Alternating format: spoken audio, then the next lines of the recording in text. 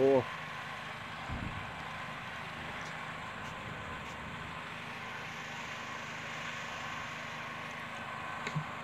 Ну что, Тимур Фанирович, Привет, Юра.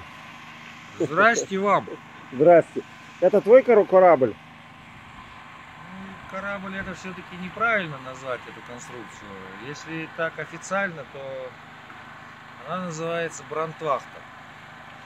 Слово какое-то дурацкое, на первый взгляд напоминает что-то там из пожарной практики. Брандмейстер э, и так далее. Но это официальное название, она в документах судовых. Да, это моя штука.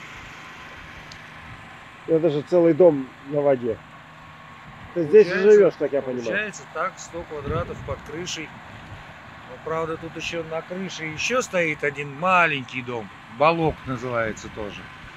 Так что почти двухэтажная конструкция в результате. э, вот. Ну что, живешь, не живешь, но сейчас живу, конечно, и месяца три, полагаю. Ну, может быть, два с половиной, там по погоде посмотрим. Буду здесь, да. Да. Привет, друзья! Мы находимся на Аби, на реке, на Великой Сибирской реке. Где-то севернее Томска, значительно севернее Томска, ближе к поселку Парабиль. Какая тут деревня рядом? Новосельцево. Новосельцево. Так что Ближний на- населенный пункт это Новосельцево, 17 километров на лодке по речке. здесь только водный транспорт, да? Только водный по реке, потом уходишь в протоку, название у которой местное еще э, не то Ханси, не то Манси, протока Кальджа. И по этой протоке до деревни Новосельцево, ну, в общей сложности, я говорю, около, около 17 километров. Пойдем немножко отойдем от шума. Пошли, отойдем. вижу тут рыбаки. Ну да, приехали друзья э, рыбачат. Одна лодка ушла туда пониже. э, На одной они прям здесь. С утра прям с берега поймали э, пару щучек и такие взбодренные загрузились на эту лодку. К сожалению, третья лодка сейчас чуть-чуть подломилась, но мы с этим справимся. Вот, но сегодня она работать не будет. Э, А сам ты любишь рыбачить? Карасика на удочку. А здесь э, у меня коронная фраза. Вы сначала мне продемонстрируете, что она клюет. После этого я тоже могу взять спиннинг. Но брошу я ровно пять раз. Если за пять раз ничего не поймается, то я начинаю разглядывать бабочек. Мне вот это вот кидание беспрерывное, оно меня не бодрит. Э, Вот мне больше нравится по сторонам посмотреть, от города оторваться, Да, подурковать здесь э, и так далее. Наверное, ветер сильный. Да, да, да. Ну, будет- потом послушаем, как задувает. Ну, Задувает сегодня, да, сегодня, да и пос- все несколько дней последних сильный ветер. Мы когда ехали сюда, ай, было прям, было прям совсем, совсем непросто. Сколько времени ты-. Сколько времени ты проводишь вот на воде? В доме на воде. Сколько захочется, столько и провожу. Много Ну, провожу. я знаю, что не первый год, это каждое лето Не, здесь. Ну да, я, не только здесь, я и в других там местах и пониже бывал, и на Таежную речку э, заезжаю. В этом году, может быть, поеду в октябре еще посмотрим. Таежная, это имеется в виду километров 60, э, туда ниже 70 по Оби. Потом в Кеть, э, километров 15 вверх. И километров 120 по несудоходной таежной речечке, там Пайдугина называется, в сторону Красноярского края. Туда, может быть, еще в этом году скатаюсь. Со всем этим хозяйством. Это удобно, когда люди собираются на рыбалку, то вот эта процедура сбора там, что нужно взять с собой, что не забыть, вот она мне очень не нравится. Вот мне от этого я избавлен точно. У меня с собой все. Даже дом с собой. Это как, как улитка ты с Да. собой дом носишь. Да, да. Причем у тебя такой верно. су- судоходный дом, Да, и тебе это нравится быть такой и улиткой. мне нравится, ну, улитки, наверное, не нравится, но с чем-то вот похожим на нее в этом смысле нравится. Это верно. Все, с собой, все свое. Начиная там, я не знаю, с чего там, с, с- с нормального туалета, с теплой воды из крана, с бани, с душа, с ковров на полу, э, с помидор на крыше, помидор, огурцов, редиски, вон лоточки там стоят, отсюда, может быть, кто-то не видит, э, вот, на палубе, на палубе цветочки, тоже в лоточках, ну и так далее. А Это кто цветочки кайфово. сажает? Только сам. Сам? Только это, это мое прям вот э, Ну, ну, не скажу хобби, это кредо. Как цветочек Это полезно, это правильно. Более того, в отличие от, может быть, многих других ну, людей, которые приезжают на ту же рыбалку, там, с костром, там, с тем, всем, у меня даже на рыбалке на столе обязательно должна стоять ваза с конфетами, ваза с фруктами и ваза с цветочками. Ну а как рыбалка без выпивки? Святая тема. Что? Нормально все. Мы тут не сильно не, не злоупотребляем. Ну, честно говоря, Удовольствие себе не отказывают. конечно, да. Вот. Но все знают, что я человек занудный очень. У меня все должно стоять по, по По- своим местам. И ты даже, друг мой, уже с этим столкнулся. Слушай, а это как- Покрывало на диване, когда человек встает, должно быть тут же поправлено. Есть капитан. Ну А- да. А слушай, а почему у тебя ты в форме МЧС? Один хороший человек, известный, сказал фразу, которая тоже всем известна. Чем можно охарактеризовать Россию? Воруют. Воруют. Так это... Ну и мне подогнали. Но это может быть скорее шутка. Конечно, продается там, хоть армейская, хоть МЧСская. Ну, удобно, она не, дорогого не стоила. Там тебе Купил случайно ракетную установку не подогнали? Или без рыбу надобности? глушить Да, без надобности пока. без надобности. Да. Слушай, а вот ты водой ходишь, двигаешься по воде. А пешком любишь попутешествовать? Ну, вообще бывали случаи, когда мне приходилось даже по тайге по полдня идти. И несколько лет тому назад я, когда вынужден был пойти, но лодка там подломилась в одном месте, надо было добраться. Я очень пожалел, что я пошел. Потому что за полчаса, в буквальном смысле слова, я пересек 10 медвежьих следов. 10 за полчаса к берегу. Я иду, естественно, по берегу, песочек. А на песочке видно, причем не один и тот же медведь потоптался туда-обратно, там, зигзагами передо мной. По размеру это разные были зверюшки. Я очень пожалел, что я пошел. Думал, пропади оно пропадом, я бы посидел бы там в неработающей лодке, сообразили бы ребята, приехали бы все равно бы за мной. Нет, а, ты, ты- ты был один, и ты остался без Один. движения, да? Ну да. То есть это было путешествие не, не, не, не не из желания, не из любви к природе. Ну, не из любви к природе, да. Но это такие моменты, которые бодрят. э, И... Но это не диванные истории, и мне это нравится тоже по-своему. Но живьем медведя ты не видел. Что не видел? Видел не единожды. Как ты не видел? Ну, в тот, в тот раз не видел. В тот раз обошлось. Ну да. Но что, что делать, если ты встретишься вот так в лоб в лоб с медведем? Вот, коль скоро я не встречался лоб-лоб с медведем, то я и не могу ответить качественно на так сформулированный вопрос. То есть Только ты- по опыта не- рассказам опыта не других проводил. бывалых людей, э, преимущественно местных. Да. Поэтому И что- у меня нет готового Что ответа. местные рекомендуют при встрече с медведем? Ну, не бежать, понятно, вот, э, крикнуть э, погромче, э, взмахнуть э, руками. На самом деле, любое практически животное, оно э, реагирует вот на такие движения. Ты становишься как бы больше его, а оно это видит вот именно так. Хотя иной раз, даже сделав так, ты не становишься больше медведя. Особенно, который стоит на задних лапах, понятно. Слушай, вот ты же городской житель. Да. Так, как-то мы встали. Пойдем, может быть, за, за эти, за кусты зайдем. Ну, Пошли. Что сильный ветер, мне будет сейчас звук Это запи- очень хороший ветер, правильный. Ни одной мошки, ни одного комара, даже овода нет. Ну, это здорово. Это мне тоже Сдувает. нравится, очень нравится. Если чего-то я не люблю в лесу, только это, только это вот этих насекомых. Все, пошли мужики. Поехали, ребятки, куда-то. А, не в Ласкинскую протоку пошли. Вот на той стороне Ласкинская протока. Там хорошие рыболовные места тоже.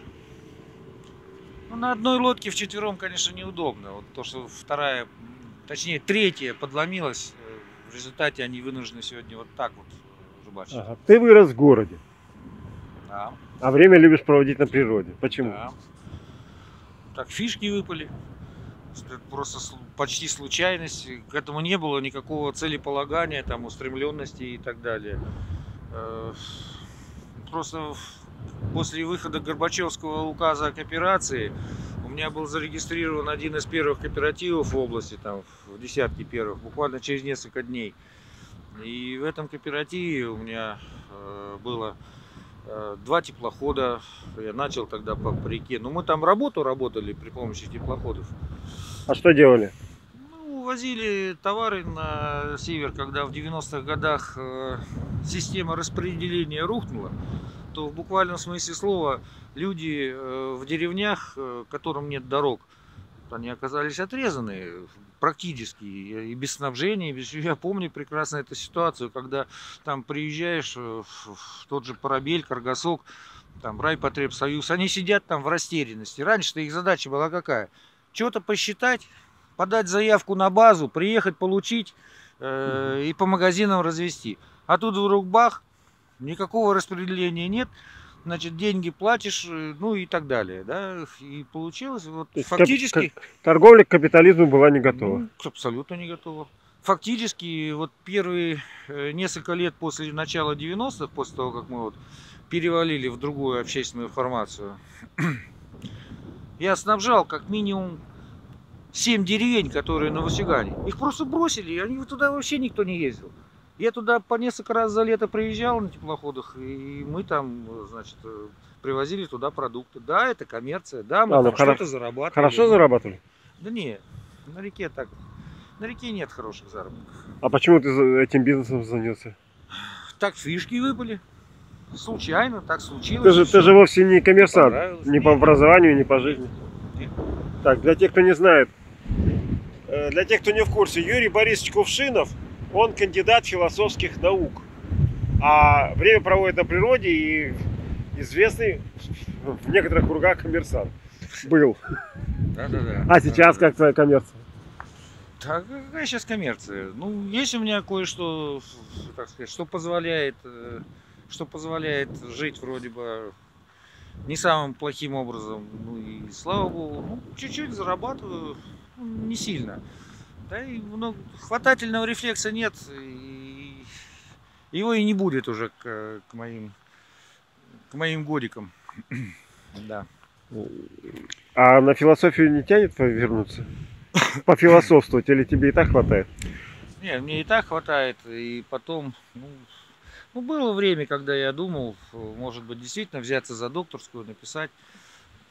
Так, нескромно скажу, что, скорее всего, написал бы. Не вижу ничего тут такого из ряда он выходящего. Э, Но это действительно, это специализировано. Этим надо уже тогда было бы и заниматься. А мне было интересно в тот момент немножко другое. Поэтому- Почему ты занялся философией? Почему ты попал на философский факультет пошел? Это был какой университет? Ленинградский государственный имени А.А. Жданова.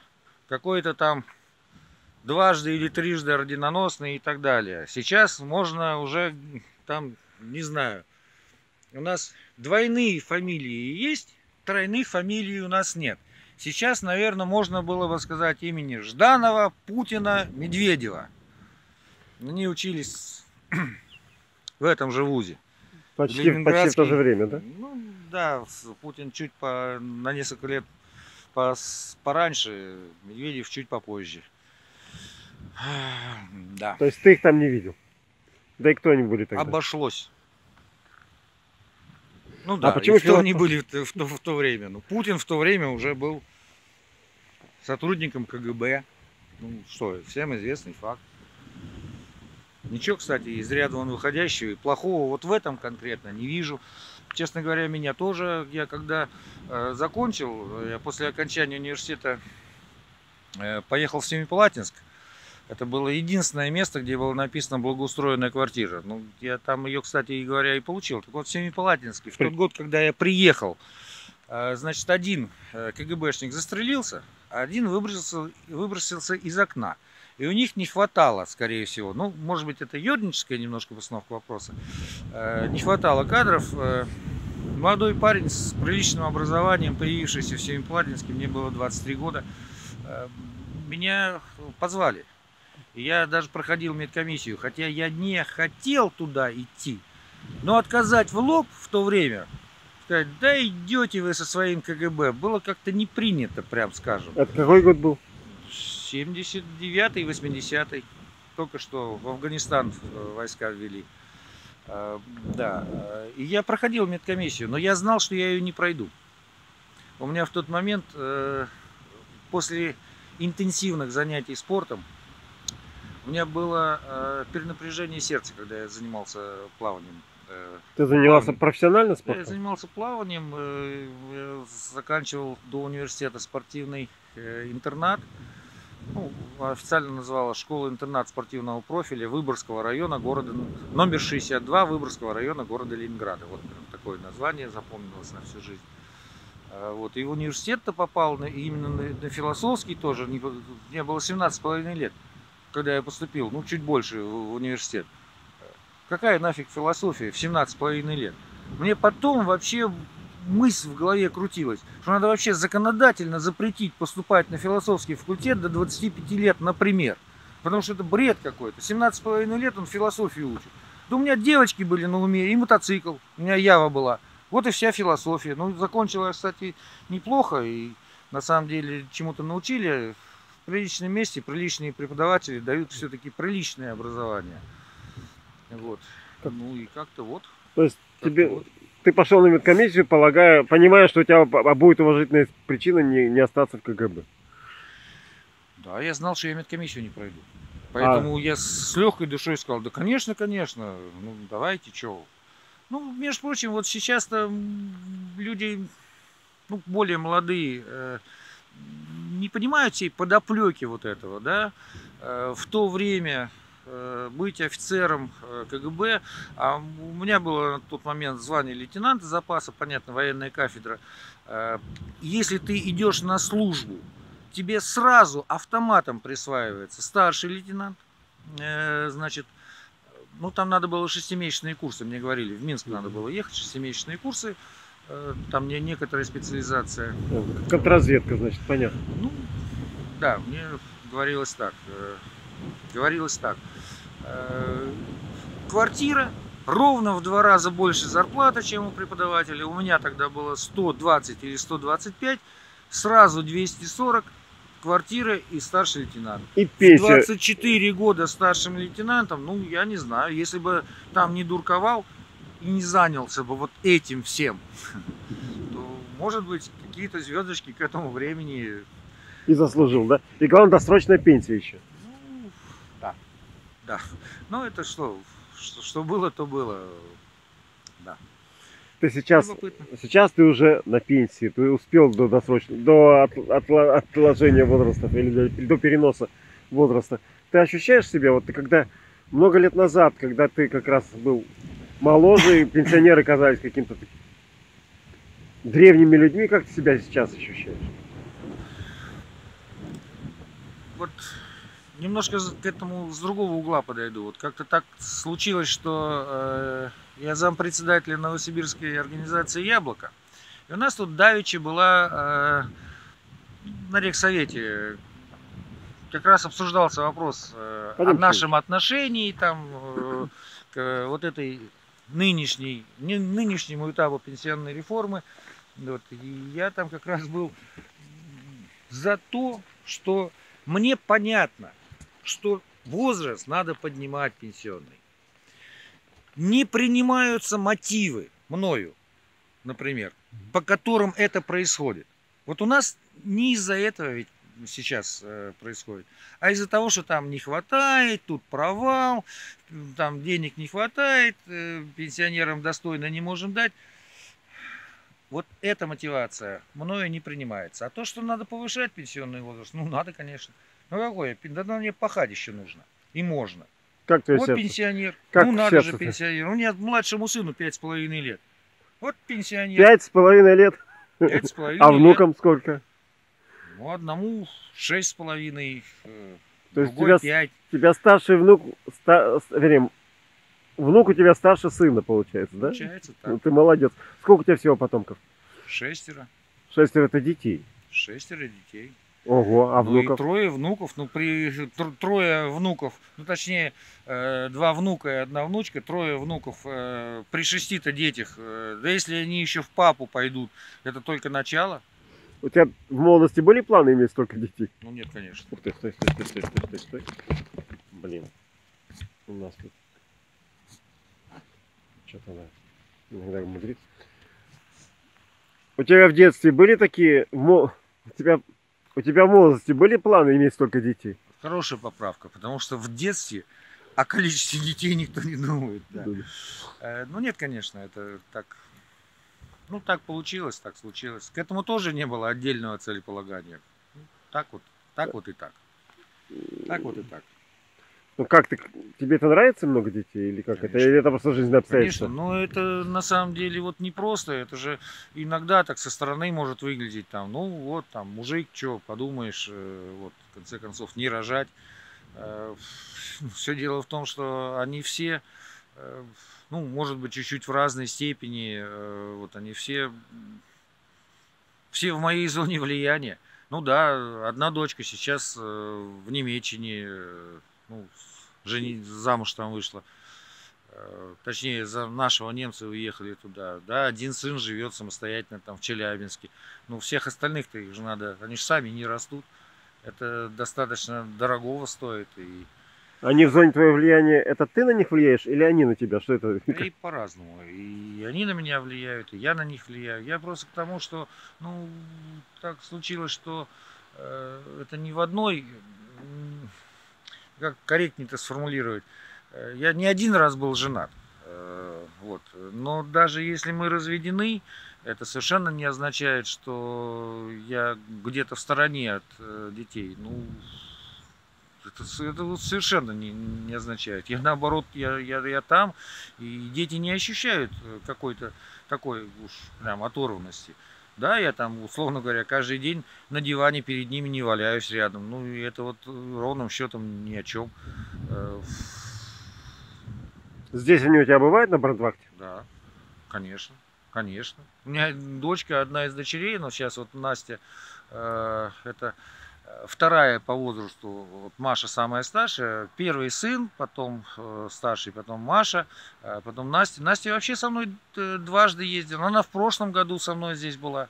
Другое дело, что ну более младшие, им еще как бы рано, а Настя сейчас, она закончила в этом году магистратуру, кстати, в Санкт-Петербурге тоже. Вот. По журналистике, кстати, коллега твоя. Ну я-то саморучка. Ну, я понимаю, но профессионально это профессионально то все равно коллега. У нее все получается. Ее позвали в Роскосмос. Вон на Брандвахте календарик э, Роскосмоса. Она там на календаре Роскосмоса появилась. Ее позвали работать в Роскосмос. Она еще в магистратуре училась. Это к тому, что у нее, как это неудивительно, научная журналистика, профессиональная специализация. Не какие-нибудь там моды, там, как это иной раз бывает у девочек. Научная журналистика, связанная с космосом. Хороший. За, искренне завидую. Мне бы тоже хотелось этим заниматься. Ну, да. Ну, вот ее позвать-то позвали. И была полуторамесячная проверка, э, проверка ФСБ. Вот многим тоже, наверное, это может показаться в нове. Девочка, 23 года, полтора месяца проверялась ФСБ. А соответствует ли она высокому званию сотрудницы Роскосмоса? Бред какой-то, ну просто бред. Хотя, ну, определенная логика в этом есть. Но дело-то в том, что ведь не соответствует. Я тебе не говорил. Не соответствует. Сестра в Германии живет. А, Ну это Она же вообще из ряда вон выходящий. Это вообще из ряда вон выходящий. Ну ладно, там руководитель этого отдела, куда ее э, звали, значит, пошел, сходил там, так сказать, пообщались э, со службой этой внутренней безопасности или кто там их проверяет. И ей сказали, ладно, ладно, вы проходите. Вот. Но буквально через несколько дней пришел Рогозин командовать Роскосмосом. У нас же вот недавно Ну да, да, да. произошло это. Отдел расформировали. Каждый начальник начинает же с реорганизации, он же не может вот все это, чтобы там вот. И вот типа, ну это и может быть и слава богу. Но не суть важно, то есть ни, ни, ни дочка не переживает, э, и я нормально к этому отношусь. Вот. А скажи, э, вот то, что ты заканчивал философский факультет, в бизнесе или в жизни как-то, в политике, которой ты занимался и продолжаешь заниматься немного, э, тебе это как помогает? У меня голова немножко по-другому устроена. У меня Ух ты. слог немножко по-другому устроен. Иногда я прихожу в магазин, меня э, хотят с первого раза понимать, а я не хочу по-другому разговаривать. Вот я буду разговаривать так, как я умею. И с той терминологией, который, которая у меня в голове. И под попиндосов подстраиваться не буду. От каких пиндусов? Не под пиндосов, а под попиндосов, каковыми у нас является большинство населения. Мне нравится собачье сердце. И я абсолютно согласен с профессором Преображенским. Я не люблю пролетариат. Я не люблю пролетариат. Потому что потом в туалете беспорядок. А ты любишь порядок, как я заметил. Я Вот люблю это- порядок. вот поэтому у тебя вот такие флотские привычки. Ну, да, И- на и флоте, на флоте всегда порядок. Между прочим, устав боцманской службы, его заставляют штудировать там, так сказать, и хлеще всего. Он кровью написан. Вот мелочей здесь не бывает. У меня в прошлом году люди здесь на лодке перевернулись. Мелочей не бывает. А так-то у тебя все безопасно?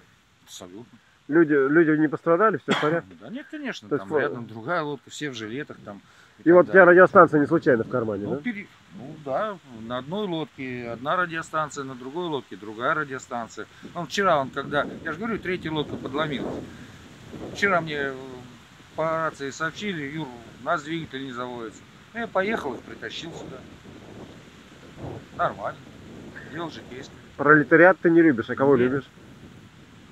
Что или что любишь? Этого нельзя понимать в буквальном смысле слова. Э, Это все-таки фраза немножко фигуральная. Э, Если я приезжаю вот в деревню в Новосельцево, я совершенно спокойно, и мне комфортно, и мне приятно общаться э, с людьми, которые, ну, не получили, конечно же, такого образования там, или разговаривают немножко другим слогом э, и так далее. Мне э, бессмысленность действий и поступков, которые характерно, мне вот это не импонирует, скажем так. Ну, это же, я не хотел бы, чтобы кто-то меня понял, что я очень люблю народ наш. Говорю это искренне. Страну люблю и хотел бы иметь как можно меньше общего с государством. Вот, вот примерно в такой фразе. Вот, вот. С государством, вот, вот подальше от него. Вот не трогай меня государство никаким образом. Ты от государства на реку уходишь? Между прочим, в этом есть своя сармяжная правда в такой постановке вопроса. Вот здесь не то, что там пробок нет городских, слава богу, но и в принципе, да, действительно, да, действительно ничего нет. Мы, кстати, между прочим, находимся в местах, которые называлось, всю жизнь. Нарымский край. Тут до Нарыма 70 километров. Тут сильных было. Я вот на Пайдугу ухожу, когда на, на Пайдугину, так она официально называется речка. Там э, кладбище, кресты выше моего роста. Там э, прибалты, э, значит, э, очень много было захоронено там и так далее. Э, вот, конечно, мы немножко здесь чувствуем себя э, оторванными от государства, от сегодняшнего. Кстати, любопытный может быть момент для кого-то. В 70 километрах от нас, вот где Нарым, есть единственный в России музей Сталина. Сталина. Сталина, который до сих пор действует. Да, сейчас он называется по-другому. Он называется Музей политических ссыльных. Э, А экспозиция-то осталась та. Я там был еще, когда он назывался Музеем Сталина, я там еще бывал. Он просто сидел несколько месяцев э, в Нарыме, в ссылке, а потом ему партия устроила побег. Без него же не могли справиться. Все остальные пускай сидят, а Сталина надо, Кабо надо оттуда, значит, вот, организовать ему. И он на каком-то обласке оттуда, значит, выгребал вроде бы как. Или с ним там кто-то ехал. Скорее всего, с ним. Потому что я на обласке до сих пор, вот, например, я 20 с лишним лет на реке, я на обласке ездить не могу. Я несколько раз садился и А переворачивался. что это тут же. такое вот для Это того понятно? долбленная лодочка вот такая, она плоская, там с одним веслом вот так тут сидишь, и ты, если там чуть вот так дернулся, ты понимаешь, он тут же переворачивается. Э, Вот. Э, И там этот обласок в этом, э, в этом музее. Любопытная история. Обласок такой хороший, прям древненький достаточно. Только делал его мой товарищ лет 12 тому назад. Ну Ну понятно, тот не понятно. сохранился, понимаешь, он по, по Ну, образцу, по образцу, ну да. ясно. Ну, вот какая-то такая история. А вообще места такие, что, ну, какое государство, где тут, вот, вот, где тут, с какой стороны государства? Он иногда пролетает там след самолетиков, иногда теплоходики проходят. И то сейчас судовой ход перенесут э, 2 километра выше, по протоке Кальжа они будут ходить. А здесь вообще никого не будет на реке. Это лучше? Это лучше, спокойнее, тише, как-то. То есть они ничем не мешают, ну, проходит мимо там толкач с боржами, например, груженными щебнем, ну и, и проходит себе, вот. Но ты его видишь, э, и вот как раз возникает та самая э, ассоциативность с недалекостью цивилизации. А когда не видишь, то даже и это пропадает. Вот ты приехал в гости, вот, вот связь со страной. Ну, замечательно. Давай пока прервемся, проверим, как звук, послушаем. Мы еще потом запишем. Ну, как скажешь. Хорошо. С тобой интересно беседовать. Ну, да Хороший на добром слове. хороший- ребенку приятно. Хороший язык. Хороший культурный человек на природе. Вот, да. Смотрите, какая тут красота.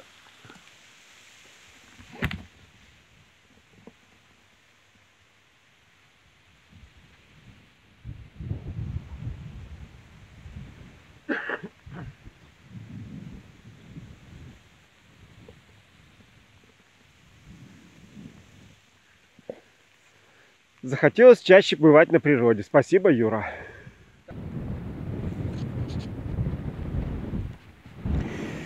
Привет, друзья! Я нахожусь на берегу Великой Сибирской реки Обь, э, в северной части, севернее Томска. Здесь недалеко поселок Парабель. Э, Здесь я нахожусь в гостях у моего друга, у Юры Кувшинова, Юрия Борисовича Кувшинова. Он здесь каждое лето, по-моему, останавливается. Мне вот интересно, что здесь находится. Юра, привет! Привет, привет. Еще раз привет. Я не знаю, может мы сделаем э, еще дальше интервью. Скажи, где мы находимся, что это за место? Ну, на самом деле, это очень большой остров. Э, Он от Колпашева и до Нарыма. Э, Слева Обь, с той стороны острова Кеть. Э, Вот. В ширину он так э, в отдельных местах километров 30, э, по большей части километров 10. а Тянется достаточно далеко. Ну, в общей сложности километров 120. э, Значит, такой вот островочек. Да, но он рассечен несколькими протоками. Вот. э, Пойдем но- посмотрим, где он там. Он там, да? Ну, это Восточный. маленькая протока, есть протоки больше. Вот. А этот остров как-то называется? Честно говоря, я даже не знаю. Но э, он есть и на, понятно, и спутниковые карты, там и общие географические карты. Э, Здесь вот дальше. Ну, то есть он не весь так так устроен. Э, Там дальше есть так называемый лапин бор. Э, То есть это настоящий бор с сосной, вот с беломошником, то есть вот ягель, ягель вот этот. Я туда э, на болотоходе скоро э, болотоход сгружу на берег и туда э, поеду в сторону Лапиного бора. Достаточно много боровой дичи, вот, встречаются лосики, вот. Ты охотник? Нет, ну то есть у меня есть ружье и есть разрешение, соответственно, соответственно, все оформлено. Я стрелять не люблю. Почему? Не- ну, не, нравится это. Вот. Тебе Ну, жалко животных? Да ну нет, Или- у меня просто лежит как-то к этому душа, да и все. Ну, ну что вот. Да нет, ну животных понятно, что жалко. Любому нормальному человеку э, жалко. Даже охотнику по большому счету жалко. И очень часто бывает, когда охотники там спасают животных, там, которые попали куда-то в, в- там, в- беду. Когда охотник охотится, а животное, ну я не знаю, там попало между двух деревьев, они тогда забывают об охоте начинают там освобождать его. Но это нормальная реакция человеческая. А вот, Вот. быть охотником это нормально? Вот некоторые там страсть прямо. Охотятся, рыбачат, у тебя такого нет. Нет, э, слава богу, обошлось. э, Точно так же, как со многими другими страстями. У меня есть э, друзья, которые там, э, ну, скажем так, игроманы, например, да. Э, Есть очень много друзей, которые э, футбольные болельщики. Вот сейчас страна у нас, Из понятно, Бали- после да. этого, мундиаля так называемого. Мне этот футбол, вот что он есть, что нет. Я примерно как старик Хатабыч. Бросил бы каждому по мячу, и пускай бегают там. Или как он, Райкин в свое время, там, 11 бугаев, или сколько там, 22 бугая, да им бы каждому там, Ну да, да, да, да, да. они горы свернут. Слушай, а за- вообще за спорт болеешь там за тех же пловцов, например? Нет, сейчас нет. Это, это очень тяжелый вид спорта. Э, Дело в том, что э, ну, мальчик-то взросленький, э, занимался на самом деле вот профессионально тогда, это были еще 70-е годы.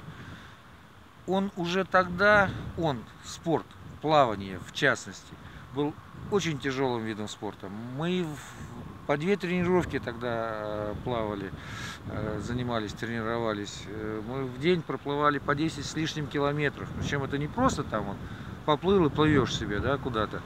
Это же в разных режимах, это с задержкой дистанции, это с ускорениями, там, это, это очень тяжело. И когда вот время подошло заканчивать, заканчивать занятия спортом, ну, я как бы внутренне перекрестился, потому что, ну, действительно, каких-то там выдающихся ну, да, я был там в сборной команде Российской Федерации, но каких-то там прям вот таких результатов у меня не получилось, э, потому что я, у меня было два перенапряжения сердца.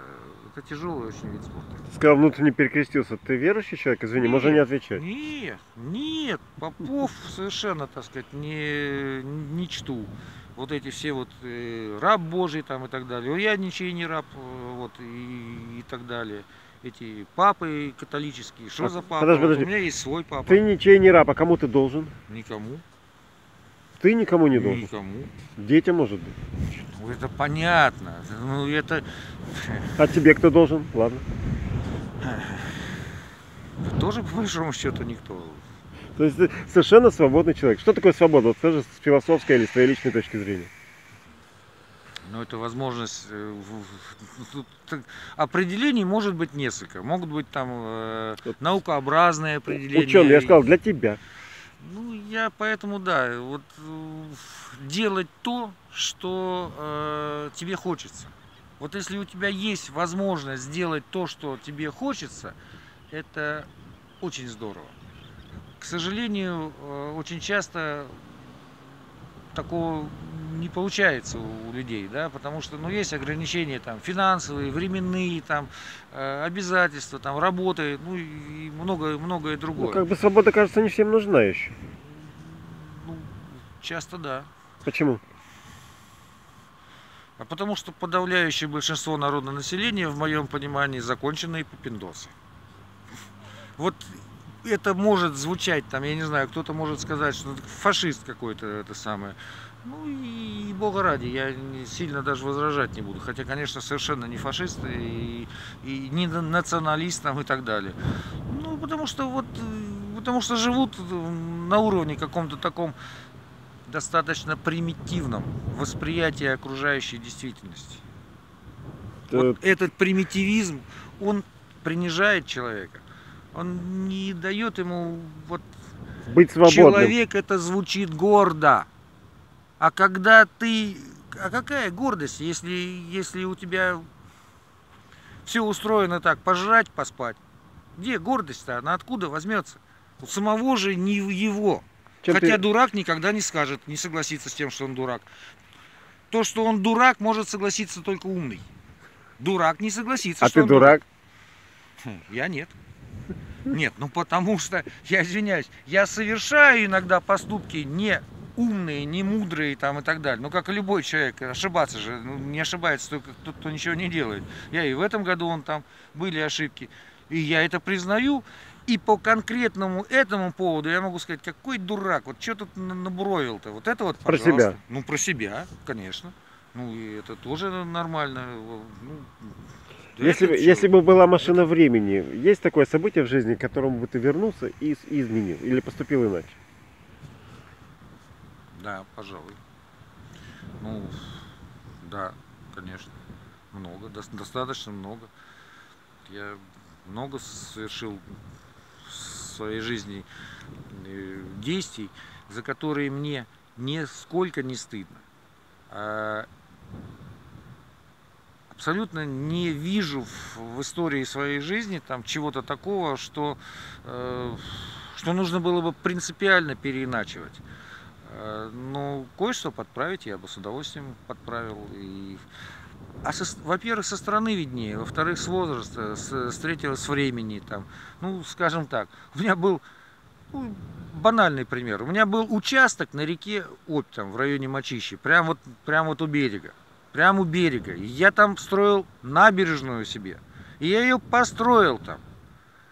У меня было, у меня сейчас вот лежит в сейфе на Брандвахте, у меня лежит разрешение на забор песка из реки.